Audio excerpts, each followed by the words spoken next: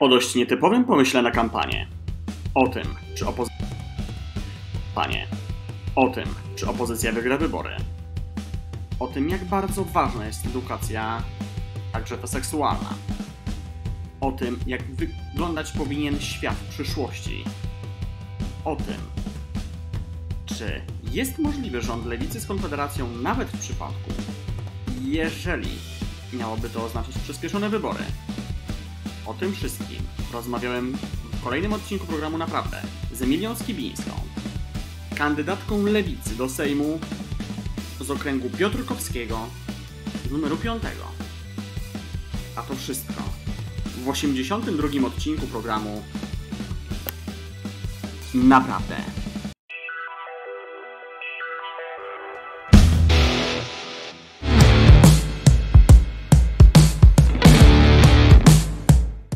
Witaj Emilio w moim programie. Dzień dobry, cześć. No, zaprosiłem Cię trochę też, bo zauważyłem Twoją kampanię dosyć, dosyć ciekawą. E, opowiedz mi, jaki, gdzie wpadłaś na pomysł na to, żeby zrobić, że tak powiem, no, kampani kampanijne prezerwatywy, no bo pomysł sam w sobie dobry, myślę też edukacyjny, a chyba tego brakuje w ostatnich latach w kampaniach wyborczych. Powiedz mi, skąd ten pomysł i czy faktycznie gdzieś tam, jak słyszysz opinie też y, tych, którzy raczej dobrze, dobrze Tobie życzą, czy faktycznie trafił w serca?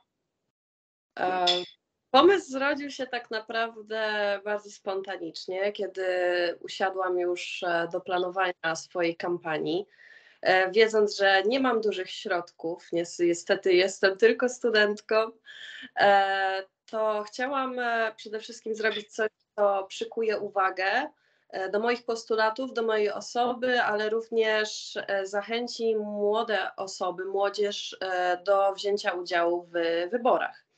Mm, I tak właśnie pomyślałam o prezerwatywach, które jak widać też po tej całej sytuacji szumu w internecie, że mimo, że one są wszędzie dostępne, to wywołują dalej wiele kontrowersji, a szczególnie kiedy trzyma je kobieta na zdjęciu.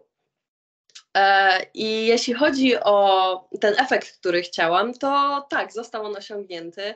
E, wiele młodych osób e, pisało, że właśnie wezmą udział w wyborach. Wiele też moich dalszych znajomych odezwało się do mnie i powiedziało, że przyjedzie specjalnie do mojego okręgu, żeby zagłosować na mnie. I wiele ciepłych słów właśnie na temat na ten temat prezerwatyw i całej tej, tej otoczki wokół tego, e, więc bardzo pozytywnie oceniam i cieszę się, że, że się udało. No więc właśnie, no bo nie oszukujmy się, no po pierwsze, no to nic dziwnego, no bo tak na dobrą sprawę te obecne prezerwatywy lateksowe wymyślił przecież Polak. To jest, że tak powiem, polska produkcja, Polacy się chyba najbardziej o to burzą, nie wiadomo po co. Też religijnie, no bo nie oszukujmy się, no nawet papieże, jak już by tak patrząc gdzieś kwestiach religijnych no, nie potępiali nigdy tego, no bo chociaż no, przynajmniej w ostatnich latach nie potępiali tego, no bo wiadomo, że to poza gdzieś tam walorem antyprokreacyjnym, że tak powiem, no to jednak to bardzo mocno chroni przed chorobami, a chyba tego wszyscy sobie życzymy, żebyśmy byli jak najbardziej zdrowi. I wiadomo, no właśnie, mm, poza oczywiście też hasłem dosyć, dosyć wiem, jak widziałem na tych prezerwatywach, to powiedz mi, jakie właśnie te postulaty byś chciała zrealizować, gdybyś dostała się do Sejmu? E, ja w tej kampanii idę z takimi trzema najważniejszymi, fila, czterema najważniejszymi filarami i jest to przede wszystkim edukacja na miarę XXI wieku. E, I w ramach e, tego postulatu chciałabym przede wszystkim tego, by szkoła była dla ucznia i szkoła przygotowywała odpowiednio ucznia e, do dorosłego życia jako obywatel, jako e, pracownik, czy też e, również jako przedsiębiorca i, wielu, i również też jako założyciel rodziny. Bardzo istotnym jest dla młodych osób świadomość, świadomość obywatelska, świadomość klimatyczna, czy też właśnie edukacja seksualna. I wielokrotnie y, badania pokazują na przykład, że tak jak już wcześniej wspomniałeś, że e, niestety ilość osób, która cierpi na choroby weneryczne, z każdym rokiem wzrasta. Dlatego to też symbolicznie ta prezerwatywa miała przypomnieć ludziom, że to jest bardzo ważne, nie tylko, żeby po prostu chronić swoje zdrowie.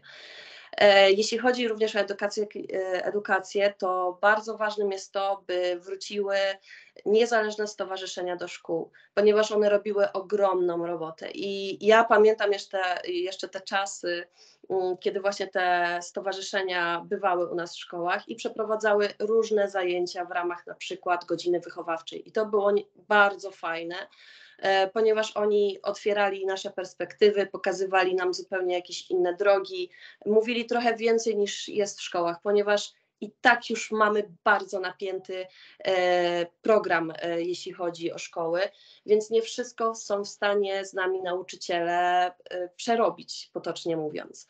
Dlatego NGOsy robiły świetną robotę i robią to nadal, za co im szapoba po prostu. Więc to jest to jest to. I najważniejsze to przede wszystkim wyprowadzenie religii ze szkół. E, religia jest e, bardzo. Nie chciałabym powiedzieć, że niepotrzebna, bo to jest e, złe słowo, jednak w szkołach jest ona często uciążeniem z tego względu, że niestety wie, wiele osób nie chodzi na religię, coraz więcej. Nawet w, mojej, e, w moim mieście, w Tomaszowie Mazowieckim, to jest obecnie ponad około 20% uczniów niechodzących w szkołach średnich, samych średnich. E, z tego względu, że mm, religia jest często w środku zajęć.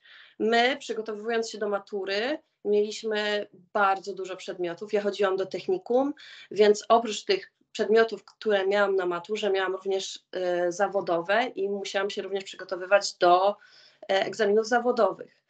I religia była bardzo uciążliwym w tym momencie przedmiotem, kiedy ona była w środku. E, więc wiele osób po prostu rezygnowało z niej, żeby chociaż na godzinę odpocząć, ponieważ duża część z nas dojeżdża, a jak wiemy, mamy problemy z transportem publicznym, e, więc wiele z nas, żeby dojechać na ósmą na zajęcia, musiało wstawać przed piątą. E, więc kiedy zajęcia trwały do 16, my wracaliśmy do domu około godziny 19, 20. Już nie mówię jeszcze o dodatkowych aktywnościach e, typu zajęcia na przykład z języka angielskiego e, lub innych korkach. E, także w obecnym systemie edukacji jest wiele do zmian i również tutaj też wspomniałam o zajęciach dodatkowych, e, które nie są realizowane w ogóle e, w szkołach jakby utworzył się cały sektor prywatny, w którym ludzie zarabiają na edukacji młodzieży.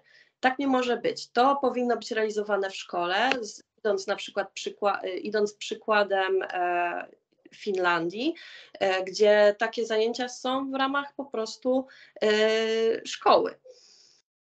No i takimi jeszcze ogólniejszymi postulatami jest przede wszystkim skrócenie, skrócenie godzin lekcyjnych, E, i przede wszystkim stworzenie takich zajęć, by były jak najbardziej produktywne, jak najbardziej dostosowane do e, współczesnego ucznia, ponieważ obecnie ucznie, uczniowie są zupełnie inni niż te 100 lat, 200 lat temu, a uważam, że nasz system edukacji wciąż żyje y, tymi, tą przyszłością. No więc właśnie, no tak, tak, tak, możesz coś e, powiedzieć? Chciałam kończyć, bo się tak rozwiodłam na tej edukacji. Jeszcze bym powiedziała o tych e, dwóch pozostałych, e, kolejnych pozostałych, bardzo krótko. Dobrze. I tak jak wcześniej, również e, dla mnie ważna jest bardzo edukacja seksualna, czym pokazałam poprzez moją akcję.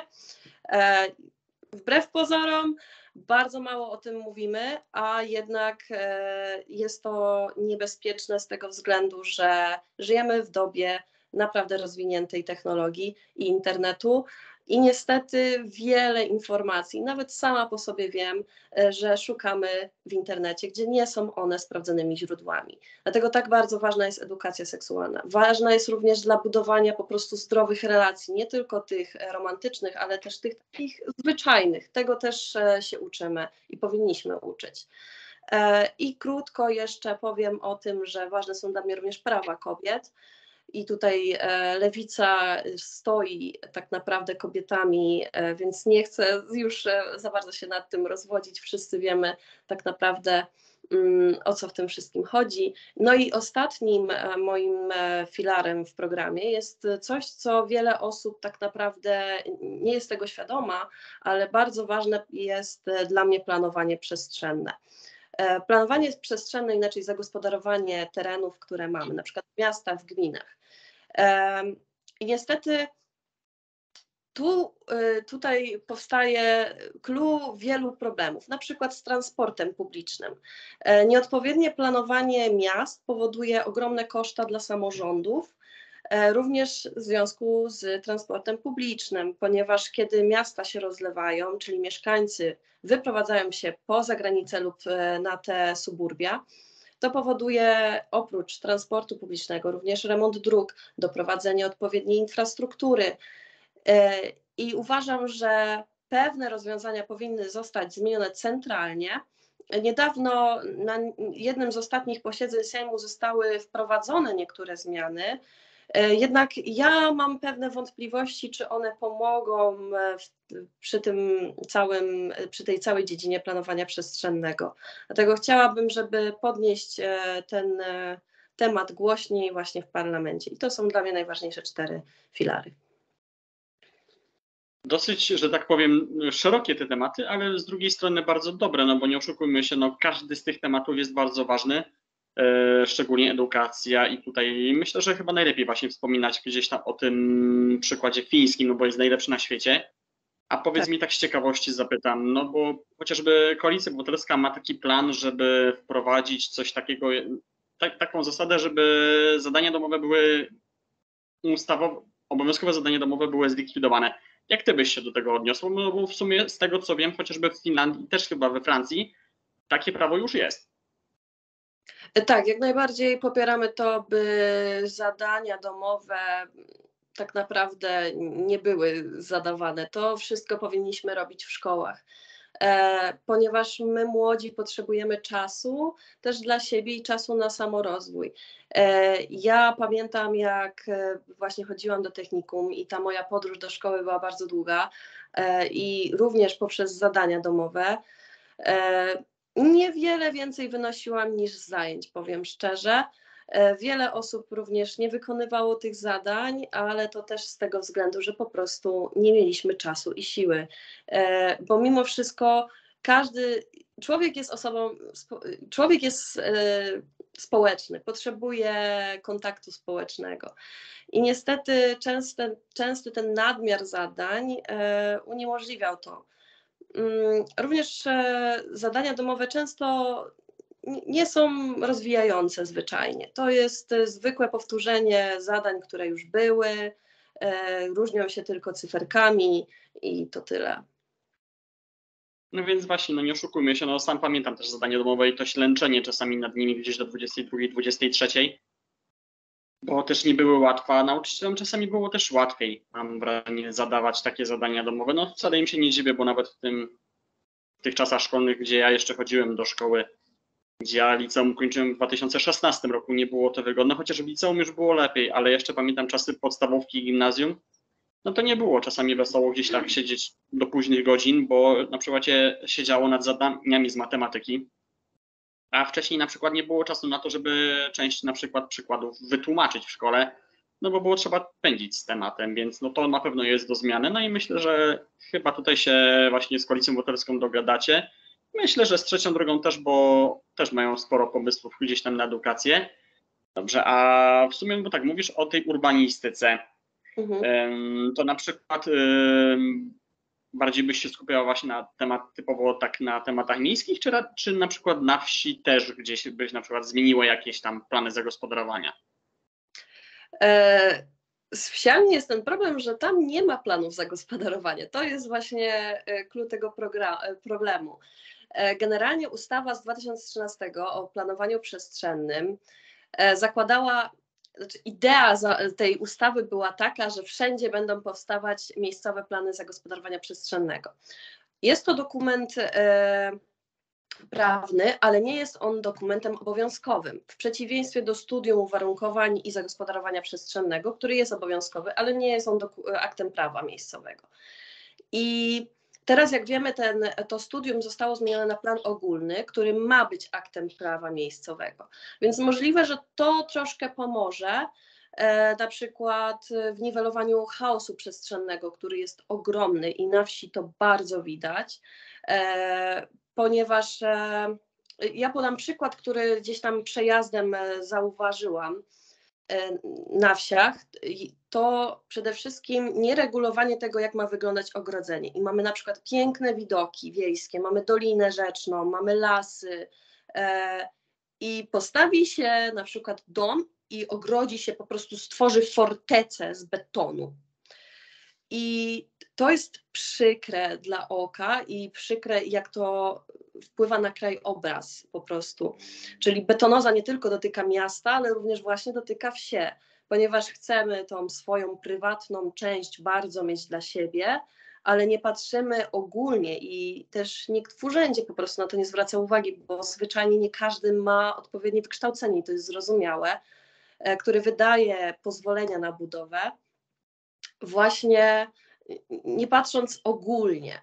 I generalnie w Polsce mamy właśnie taki problem, że my nie patrzymy dekadami, nie patrzymy, jak to może wpłynąć ogólnie na coś, tylko patrzymy na tu i teraz. I myślę, że ważne jest, żeby zadbać i o wsie, i o miasta. Tu, tu ciężko mi jest stwierdzić, co jest ważniejsze, bo zupełnie inne problemy mają miasta, duże i małe, a zupełnie inne problemy mają wsie. No więc właśnie, no mówię, no chociażby są, znaczy podobieństwa to myślę, że takie są, że no, tego się nie da raczej zmienić, ale chociażby na przykład zbyt wąskie miejsca zostawione na drogi, no to było już zaniedbania nawet PRL-owskie bym powiedział, że gdzie te drogi nie potrzebowały być takie szerokie. Druga kwestia, no to tak jak mówisz, chociażby z tymi ogrodzeniami. Ja pochodzę ze wsi. Mojej rodzinnej wsi, gdy, gdy robiono nowy asfalt, miało też być e, do tego też e, ogrodzenia, jak ktoś był chętny no to nie wszyscy patrzyli na to chętnie, no i potem jest taki miszmasz, że jest kawałek ogrodzenia ładnego, nowoczesnego, dostosowanego, że tak powiem, do standardów i jest fragment przedzielony, bo ktoś sobie chciał zostawić, no i potem znowu jest, ten, jest to nowe ogrodzenie, no bo ktoś się na to zgodził, więc no w Polsce każdy widać, że jak każdy sobie rzepkę skrobie, jakby to mógł nazwać, więc to na pewno jest do zrobienia, chociaż no to na pewno wymagano długich, długich lat i tak. raczej tak. myślę, że jedna kadencja na to nie wystarczy. Nawet i dwie. Na pewno nie. No więc właśnie. A tak wróćmy może jeszcze do tematu młodych, bo wspomniałaś właśnie o tym, żeby zaktywizować młodych do głosowania. Ostatnio widziałem w relacji um, Antoninę Majchrzak, y, też zresztą twojej koleżanki z Łodzi, tylko że z numeru 6 z Koalicji Obywatelskiej, gdzie no, pisała o tym, że były takie sytuacje, że dawała na przykład ulotki młodym ludziom, oni ją zbywali mówiąc, że nie będą głosować tak czy siak. Powiedz mi, czy ty też się gdzieś tak, yy, gdzieś tak słyszysz to, że no ja nie będę głosował, bo mój głos nic nie znaczy i tak nie mam na kogo głosować, bo ci mi się nie podobają dlatego, ci mi się nie podobają dlatego, a wszyscy to są w ogóle po jednych pieniądzach i nie ufam politykom, czy raczej gdzieś tam widzisz, że jednak to zaangażowanie jest większe? Mm, jedno sprostowanie. E, Antonina jest z Łodzi, a ja startuję z Piotrkowa. Okej, okej, okej. Akurat, ale tak, śledzę również działalność Antoniny. E, młodzież e, ma tak, że często im jest bardzo trudno podjąć decyzję z tego względu, że jak obserwuję sobie ich na przykład kompasy polityczne, to zawsze z czegoś, z każdej partii po trochu gdzieś tam tych poglądów mają. E, wiele osób też po prostu nie interesuje się tym tak dużo, by móc wyrobić sobie jakiś pogląd swój własny. E, I tak, i, ma bardzo niskie zaufanie do polityków, z czego ja się wcale nie dziwię, e, ponieważ, tak jak wspomniałam, znaczy, tego jeszcze w sumie nie wspomniałam, mamy bardzo małą reprezentację w parlamencie. E, średnia wieku to jest około ponad 50 lat. I mamy, tak powiem potocznie, starych wyjadaczy, którzy siedzą tam po 30 lat, mają układy. I to oni są najbardziej e, pokazywani w mediach. Więc młodzież, gdzie widzi głównie nagłów, gdzie widzi nagłówki na przykład artykułów lub jakichś filmów, na YouTubie, to no to ich to od razu odrzuca. Jak widzą na przykład y, pana po siedemdziesiątce, który mówi im, jak mają uczyć się, jak mają zakładać rodziny, jak mają żyć. Więc patrzą bardzo często przez ten pryzmat na wielu polityków i przez to im ciężko jest podjąć decyzję o głosowaniu i czują się pomijani po prostu, zwyczajnie. E, o młodych się nie, nie walczy i nie dba, bo jednak e, duża też część jest, e, nie jest po prostu jeszcze wybor, nie mają praw wyborczych, więc, więc po co o nich walczyć, nie? No tak nie jest. Dlatego potrzebujemy młodych kandydatów i naprawdę te wybory i te listy, e, które obecnie powstają i śledzę po prostu wszyscy tam tych, e, tą młodzież na listach, serce rośnie. Po prostu jak widzę, że mamy tak dużo osób poniżej 30 roku życia, już nie mówię z której partii, ale z wielu tutaj przede wszystkim mamy przedstawicieli, to naprawdę to cieszy i też widzę, że pojawia się gdzieś w młodych zmiana, że jak widzą kogoś, e, nawet nie znajomego, ale gdzieś kogoś młodego, to chętniej chcą się wybrać na wybory. No więc właśnie, no, nie ukrywam, że taka była idea powstania mojego programu dwa lata temu, żeby jednak zapraszać jak najwięcej młodych ludzi do programu, żeby też no, zachęcać młodych ludzi do polityki, bo jednak no, tego brakuje. Ja to zawsze będę powtarzał. Powyżej, no, jak zaczynałem program dwa lata temu, no to jeszcze były bodaj jedna albo dwie osoby, w tym niestety Łukasz Mejza, który nie miał trzydziestki w Sejmie. Teraz nie ma ani jednej osoby przed końcem kadencji, która by miała mniej niż 30 lat. No to jest zatrważające, że jednak no, już pomijam fakt, no bo w 19 roku najniższy rocznik, który mógł startować w wyborach, no to to był 8, 98. Więc no okej, okay, no te osoby teraz mają 25 lat no nawet patrząc, no ja mam 26, 97 rocznik, więc nawet z tych roczników, nawet 95 nie ma, nie było, nie, nie, wy, nie wygrali gdzieś tam w swoich okręgach, nie zostali wybrani. No i to jest trochę smutne, no tak jak mówisz, no mam nadzieję, że to się zmienia, a młodzi ludzie nie głosujący, no to no nie wiem, to jak wspomniałeś, że gdzieś tam te różnice poglądowe, no sam mam trochę, mimo że mam 26 lat, mam taką trochę, że tak powiem, rozbieżne poglądy, bo tak, no z jednej strony światopoglądowo bardziej bym pasował do lewicy. Z drugiej strony gospodarczo, może nie chcę powiedzieć jak Konfederacja, no bo to już jest przesada, co, co oni tworzą, no ale gdzieś tam no, bardziej wolnorynkowo-liberalnie, więc tak no, próbuję gdzieś tam się w tym odnaleźć trzecia droga, chociażby wystawiając y, Ryszarda Petru znowu w Warszawie, no więc tu jest gdzieś tam ta luka może odbierana. No w sumie no, na Hołownię trochę, więc, trochę młodych ludzi zagłosowało w 20 roku, więc tu może jest ta nadzieja, żeby młodzi ludzie gdzieś tam zaufali jemu, jeżeli nie chcą ani lewicy, ani konfederacji zaufać, no bo no nie oszukujmy się, no warto iść na te wybory, no bo ja zawsze będę powtarzał, jak rozmawiam z młodymi ludźmi i pytam ich, czy pójdą na wybory, mówią, że nie. Ja mówię sobie, a czy chciałbyś, żeby rządził dalej PiS? Oczywiście, że nie. Wszystko inne byleby nie PiS. Ja mówię sobie, no to wtedy w takim razie idź na wybory, bo jak nie pójdziesz na wybory, to brak twojego głosu oznacza głos na PiS. Więc no to myślę, że to chyba powinien być gdzieś tam ten najlepszy sztyczek, najlepszy chyba gdzieś tam ten motywator do tego, żeby głosować. Nie wiem, jak ty myślisz. Ja myślę, że też warto zaznaczyć to, że młodzi się boją pójść, bo nawet nie wiedzą gdzie. E, I tutaj e, w wielu rozmowach z ludźmi e, wywnioskowałam, że bardzo jest słaba edukacja, jeśli chodzi o to, ile my stanowimy w polityce. E, I młodzież właśnie nie wie, gdzie ma głosować, gdzie ma iść, co tam w ogóle będzie, co to jest. Y, nie rozumieją na przykład, że nie mogą zagłosować na mnie z innego okręgu, e, nie wiedzą, czym są okręgi, więc ja się wcale też nie dziwię, że po prostu młodzi się wycofują, bo po prostu nie mają zielonego o tym pojęcia. Ja pamiętam, że przez cały swój e, czas edukacji, ani razu nie miałam o tym, czym są okręgi wyborcze, czym są e, okręgi jednomandatowe. Okej, okay, miałam, że no, parlament wybieramy w powszechnych wyborach, ale jak? Co, co tam w ogóle jest w tej komisji wyborczej? Czym jest w ogóle komisja wyborcza? Więc pamiętam swoje pierwsze wybory, ja poszłam w ciemno. Ja już byłam wtedy dość świadoma i zawsze gdzieś tam w polityce si- siedziałam, interesowałam się. I kiedy poszłam na swoje pierwsze wybory, ja też byłam przestraszona. Ja nie wiedziałam, co tam będzie w ogóle. Wiedziałam, że dobra, tu jest moja komisja, bo mi tak powiedziała moja mama. Poszłam i nie wiedziałam, co tam ma być. Dostałam kartę, widzę, okej, kobieta jako numer jeden, jedyna i oddałam głos. Także tu też wychodzą braki, jeśli chodzi o edukację właśnie tą obywatelską. I też e, myślę, że to, że młode osoby startują i ich znajomi wtedy są, wow, ty startujesz, to wtedy my podzielamy się tą wiedzą i ich uświadamiamy i oni są naprawdę często zszokowani, że tego nigdzie się nie dowiedzieli.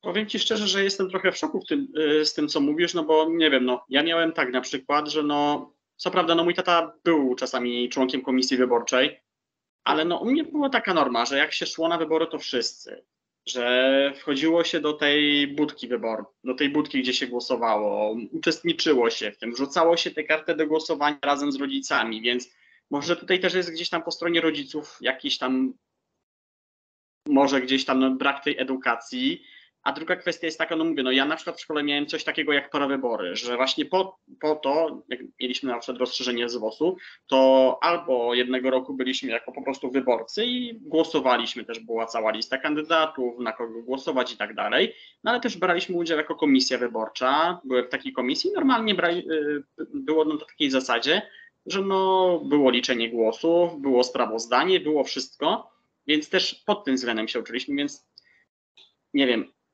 no ja byłem jeszcze z tej drugi rocznik tej nowej podstawy programowej e, platformy e, wprowadzonej w 2009 roku, więc nie wiem, no może wtedy tak to było i w programie, no albo też po prostu trafiłem na dobrego nauczyciela, ale no, no nie wiem, no ciężko mi tu stwierdzić, no wiadomo, że PiS chce gdzieś tam ograniczyć nasze gdzieś tam chęci do głosowania, nie tylko młodszych, ale i starszych, ale no mówię, no może też w rodzicach gdzieś tam rola, żeby faktycznie pokazać, dobra, idziesz do wyborów, idziesz do tej kabiny głosującej, czy tam do szpalerów, w zależności wiadomo od lokalu wyborczego, pokazujesz, że tu masz listę kandydatów. No myślę, że to jest też taka dobra nauka, tak w praktyce, więc kto wie. Tak, zdecydowanie. E, Teraz mi przypomniałeś, że ja też miałam prawybory, o których kompletnie zapomniałam. W gimnazjum w 2000 bodajże 14 chyba roku. E, powiem szczerze, nie pamiętam wyniku tych wyborów. Czy to było w 2015?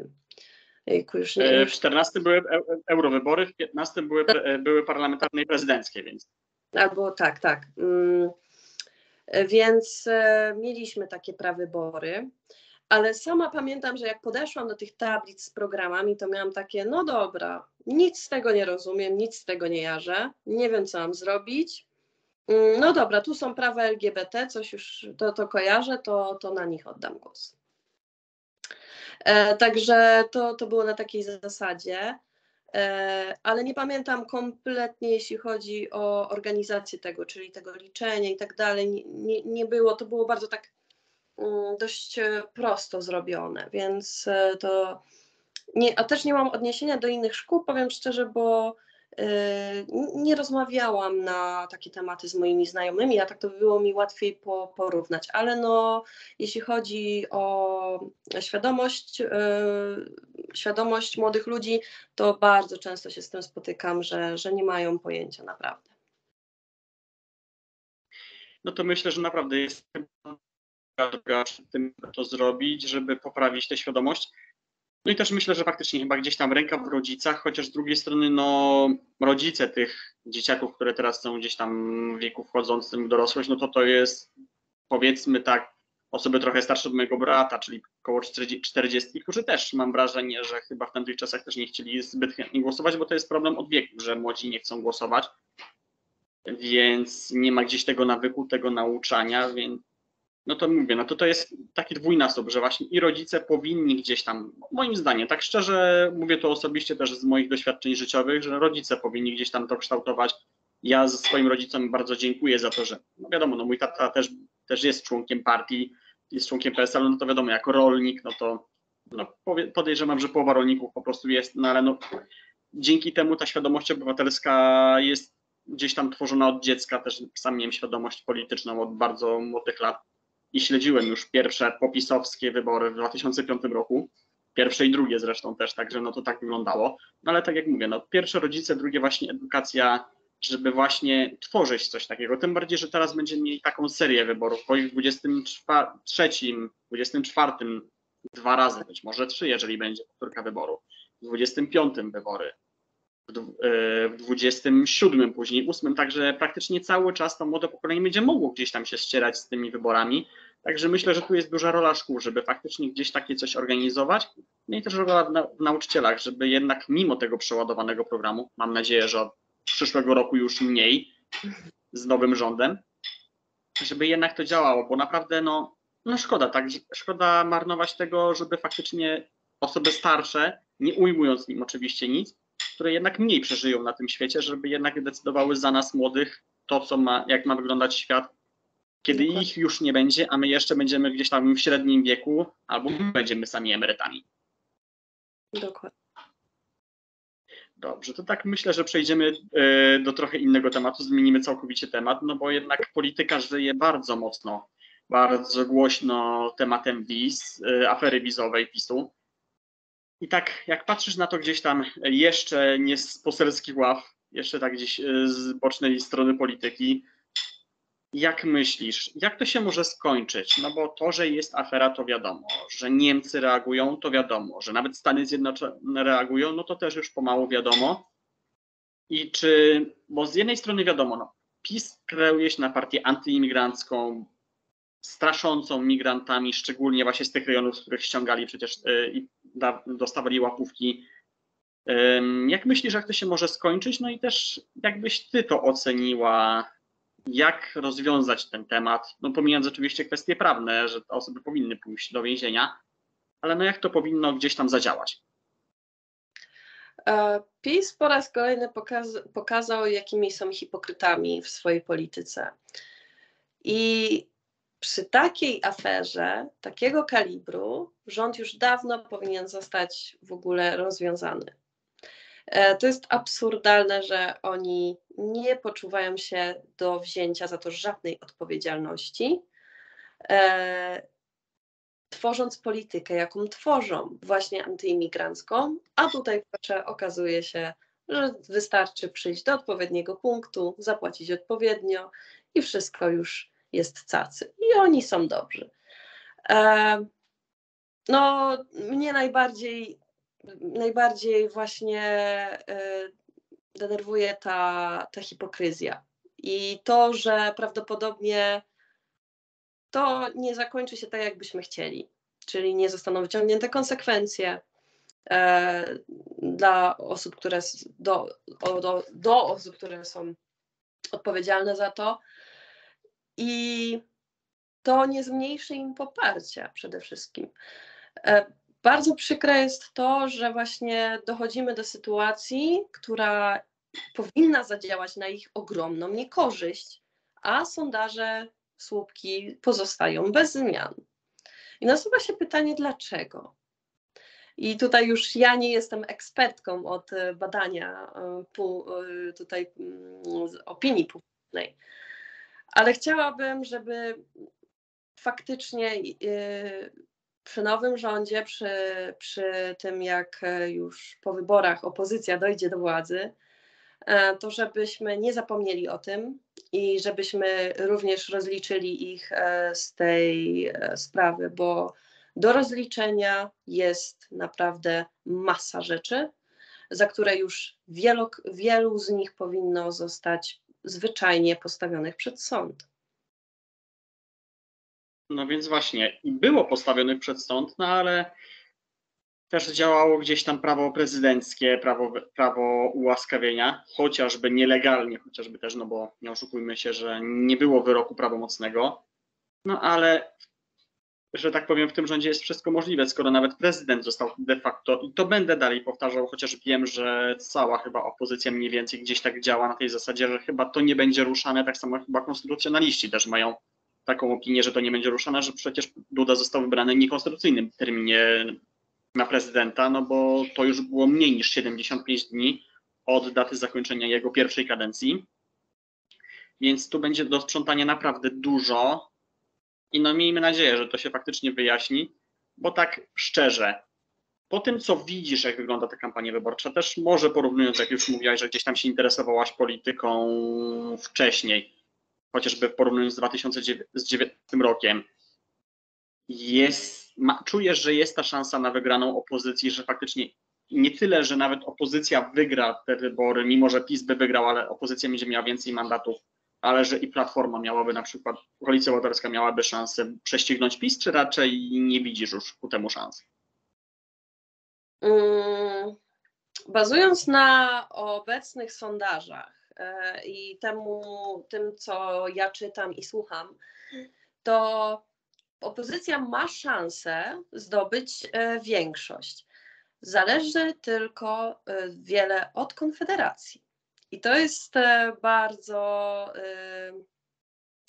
bardzo ciężki temat, ponieważ możemy zdobyć większość jeśli Konfederacja będzie mniejsza tak naprawdę, bo no nie ukrywajmy, oni wejdą w koalicję z PiSem. To, to jest e, pewne. Pamiętajmy też, żeby głosować zgodnie ze swoim sercem, zgodnie z tym, co myślimy, bo tak jak bardzo teraz wiele osób o tym mówi i bardzo się o tym cieszę, e, bardzo mnie to cieszy, czyli metoda Donta mówi się, ojej, jak to ona faworyzuje wielkich. No właśnie nie do końca. E, I ostatnio przeczytałam bardzo fajny post, w którym było wytłumaczone, jak na przykład stoma, stoma głosami można zdobyć więcej mandatów dla opozycji lub dla PiSu. E, dlatego bardzo ważne jest to, by głosować w zgodzie ze sobą, a nie patrzeć na to, że KO, y, KO E, ma na przykład największe słupki. Bardzo ważne jest głosowanie na lewicę, na trzecią drogę czy na samorządowców. E, o tych pozostałych to nie mówię, bo szkoda e, czasu antenowego, że tak powiem, potocznie. Dlatego jest szansa. Jest szansa, jeśli zagłosujemy w zgodzie ze sobą, w zgodzie z, z tym, co myślimy. Myślę, że tak, to, to na pewno jest ważne. A wyobrażasz sobie taki scenariusz, że na przykład, nie wiem, PiSowi i Konfederacji brakuje do większości, ale jednocześnie opozycji też brakuje do, do większości i potrzebna jest tu Konfederacja. Wyobrażasz sobie taki scenariusz, że wspólnie KO, Lewica, Trzecia Droga i Konfederacja jakiś tam teoretycznie mały rząd tworzą tylko po to, żeby na przykład pozamiatać TVP, spółki Skarbu Państwa, no i po prostu oczyścić gdzieś tam atmosferę tych wszystkich rzeczach, które PiS zniszczył, o ile się da na tych parę miesięcy i wspólnie w te cztery ugrupowania, nawet patrząc no jakie różnice dzielą partie opozycyjne z Konfederacją, żeby rozpisać nowe wybory na przykład na luty czy marzec przyszłego roku, czy raczej nie widzieć takiego scenariusza, na, chociażby takiej chwilowej, chwilowego zawieszenia broni z Konfederacją, jaka by ona nie była oczywiście. Nie. Nie będziemy się układać z żadnymi faszystami i lewica to mówi jasno. Nie będziemy układać się z nimi pod żadnym pozorem. Dlaczego? A przede wszystkim dlatego, że ja im nie wierzę. Nie wierzę im w to, że oni chcą naprawdę rozliczyć PiS, e, że naprawdę im na tym zależy. Oni sami grają sami dla siebie. Możemy to zobaczyć nawet po ich listach, gdzie po prostu ich rodziny są wsadzane na te listy i to, to po prostu tworzy się okręgowa lista rodzina Janusza Korwina-Mikke. No to jest absurdalne. I oni chcą rozliczać PiS. Kolejna hipokryzja i ja im nie wierzę, i lewica im nie wierzy, i lewica nie będzie się układać z faszystami. No to myślę, że to jest dosyć dobra, dobry prognostyk, chociaż mówię, no zobaczymy jak to będzie się układać. Miejmy nadzieję, że nie będzie takiej potrzeby, tak jak mówiłem, takiego scenariusza. I tak samo myślę, że z bezpartyjnymi samorządowcami, bo to jednak o ile gdzieś tam, nawet gdzieś tam słucham ostatnio jakichś wywiadów z bezpartyjnymi i próbują się kreować na antypisowców, no ale no wiemy wszyscy, jak to się stało chociażby na Dolnym Śląsku, gdzie jednak się zbratali z PiSem, więc z nimi też to różnie może być. Jedni twierdzą, że bezpartyjni odbierają mocne głosy trzeciej drodze, szczególnie PSL-owi, chociaż nie chce mi się szczerze w to wierzyć, bo jak patrzę gdzieś tam na sondaże przed uwzględnieniem bezpartyjnych i po uwzględnieniu, to najczęściej traci właśnie PiS. Tyle samo, ile bezpartyjni zyskują, tyle traci PiS. Także no, w tym chociaż jest nadzieja. I że po prostu faktycznie gdzieś tam to się ułoży i naprawdę no, będzie ta większość. I tak jak chociażby to było po wyborach, prawyborach w Wieruszowie, gdzie chyba to dało gdzieś takiego mocnego kopa opozycji, że faktycznie jest ta nadzieja, bo IKO wygrało, Konfederacja była daleko w tyle. I chociaż tutaj jest też ciekawy moment, bo teoretycznie bez y, lewicy nawet by rząd KO trzecia droga by się udał, chociaż myślę, że to i tak lewica byłaby potrzebna, bo wszyscy wiemy dobrze, że i tak będzie to potrzebne, żeby chociaż obawi, obalić weto prezydenta. Więc tutaj na pewno na to trzeba patrzeć, że jednak to nie chodzi o to, żeby, nie wiem, inni, że jak na przykład, nie wiem, bez lewicy by się udało utworzyć rząd, to lewicy nie brać, no bo y, jednak to jest potrzebne, no i jednak, jednak Duda też nie wiadomo, jak się zachowa po wyborach, no bo z jednej strony próbuje grać antypis czasami, z drugiej nie, no to też różnie może być. I w sumie jak ty, jak ty tak na, e, twierdzisz, czy Duda po wygranych przez was wyborach przestawi wajchę, czy jednak będzie dalej gdzieś tam aparatczykiem pisowskim? Oczywiście, że będzie aparatczykiem pisowskim. E, powinniśmy mieć e, prezydenta, który e, nie będzie bratał się z żadną partią, będzie apartyjny. No nie widzimy tego zupełnie e, i myślę, że mm, Andrzej Duda jest e, prezydentem, który nie ma swojego zdania. Będę szczera i będę ostra. Nie ma swojego zdania, nawet jak gdzieś tam było, że się sprzeciwił PiSowi, nie podpisze ustawy, to, to, to było tylko granie, to tylko jest malowanie i tworzenie jakiegoś obrazka. Gdyby był prawdziwie charakterną osobą, to byśmy to widzieli. I, i myślę, że, że nie mamy na co liczyć. Na wsparcie jakiekolwiek. E, zdecydowanie będzie, będzie to będzie szedł pod górkę. No, niestety też mam takie myśli i szczerze powiem, że szkoda, że nie wziął gdzieś tam pod uwagę tego, jaki był jego były szef Lech Kaczyński, bo co by nie powiedzieć o Lech Kaczyńskim tym, że jednak jest bliźniakiem Jarosława, to jednak Lech Kaczyński potrafił znieść się ponad podziałami i nie blokował często gdzieś tam ustaw e, Platformy, gdy byli, że tak powiem, w takim też rozkroku, że prezydent z rząd z Platformy, ale niestety no raczej w to nie wierzę, że taki będzie Andrzej Duda. Dobrze, na koniec, jakbyś chciała tak zachęcić do głosu, ogólnie do głosowania, ale też do głosowania na ciebie konkretnie, co byś chciała powiedzieć swoim wyborcom? E, przede wszystkim to, że ja nie będę wchodzić w żadne układy. Nie, nie jestem osobą, która e, gdzieś ma jakieś ogromne plecy. Ja jestem zwykłą dziewczyną ze wsi, z gminy Rokiciny i idę szczerze dla Was, dla, dla młodych ludzi, przede wszystkim dla wyborców e, tutaj i będę słuchać, będę często z Wami rozmawiać, bo po to jest e, parlamentarzysta, parlamentarzystka. Po to, by być dla swoich wyborców, by do nich wychodzić, by z nimi rozmawiać i ich wysłuchiwać. Nawet jeśli to będą słowa mm, gdzieś może z krytyką, ale nie bójmy się krytyki, bo o to chodzi, jesteśmy tylko ludźmi. I żeby zachęcić Was do wyborów, tak jak moje hasło mówi, nie pękaj, zagłosuj.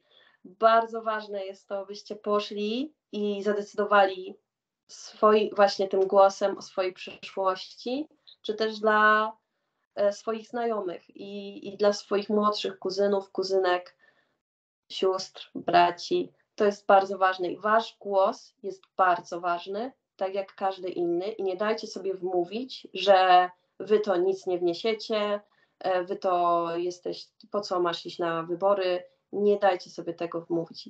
Każdy głos się liczy i każdy jest równy i równie ważny. No więc właśnie, bo ja to zawsze będę powtarzał, jak jedna osoba mówi, nie idę na wybory, bo mój głos nic nie znaczy, powiedziało 10 milionów wyborców. Tak. Dobrze, Emilio, dziękuję Ci bardzo serdecznie za rozmowę. Ja również dziękuję. Moją gościnią była Emilia Skiebińska, członkini Lewicy, kandydatka Nowej Lewicy z listy Kobiety Brunarskim e, z numerem piątym. Jeszcze raz Ci dziękuję. Dziękuję pięknie również za zaproszenie. A ja zapraszam Was na kolejne odcinki programu Naprawdę, bo dalej będę zapraszał młodych kandydatów na, na posłów, być może też na senatorów, kto wie. Yy, Zapraszam na moje media społecznościowe, na bloga naprawdę.blog, a my widzimy się w kolejnych odcinkach. Do zobaczenia i cześć. Oglądaj nieobiektywnie oraz program Naprawdę na kanale i podcaście Spotify. Naprawdę na YouTubie i Spotify. Subskrybuj kanał, kliknij łapkę w górę, udostępniaj ten oraz inne odcinki.